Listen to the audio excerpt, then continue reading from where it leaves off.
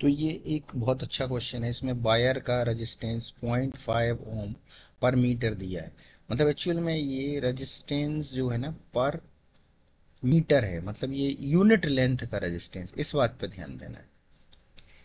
आपको इसको बेंड करके एक सर्कल बनाया गया। उसकी सर्कल की जो रेडियस है, ये रेडियस ठीक है? इस रेडियस को अपन यहाँ पे जो है एक्स मान रहे हैं ना?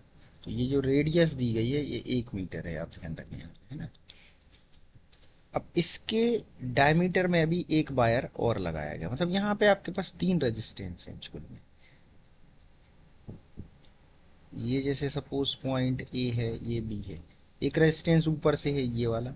इसको अपन मान ले रहे हैं आर वन एक नीचे रेजिस्टेंस है आर टू और एक बीच में रेजिस्टेंस है आर थ्री मैंने आपके पास टोटल रेजिस्टेंस कुल मिला के तीन है। अब आपको सबसे पहले इसका रेजिस्टेंस की वैल्यू निकालनी है। आर वन और आर टू की वैल्यू तो इक्वल होगी।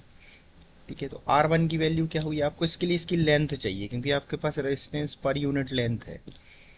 अगर इसकी रेडियस अपन ने एक्स मानी है तो total circumference two pi R होगा तो आधा सर्क्यूफ्रेंस होगा पाई एक्स तो यानी इसका रेजिस्टेंस अपने पास कितना आएगा? Point five into pi X मतलब resistance per unit length into length अब यहाँ पे एक्स भी एक मीटर है ना?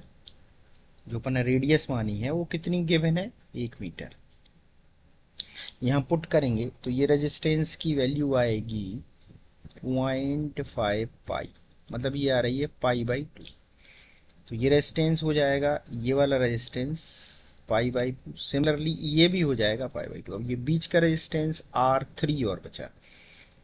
आर थ्री तो इसकी लंबाई एक्चुअल में रेडियस की डबल होगी मतलब two X into point five मतलब ये रेजिस्टेंस जो है, ये इसकी वैल्यू ध्यान रखें वन है है ना? तो टू और पॉइंट फाइव मिल के वन यानी एक्स और एक्स भी वन है तो वन आ जाएगा वन ओम ठीक है तो अब आपके पास तीन रेजिस्टेंस यहाँ पे हो जाते हैं, ठीक है? वो तीनों पैरल में हैं।